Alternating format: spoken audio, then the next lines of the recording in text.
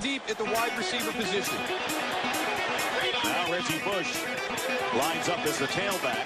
Brees swings it out to Bush. The ball is knocked away, and an incomplete pass. And a crunching hit put on by Sheldon Brown. And Bush, it takes a while to get up. And now goes down again. He did not see that hit coming. He was looking back at the ball. That was a blind hit right there. A great defensive scheme by Jim Johnson because he brought pressure,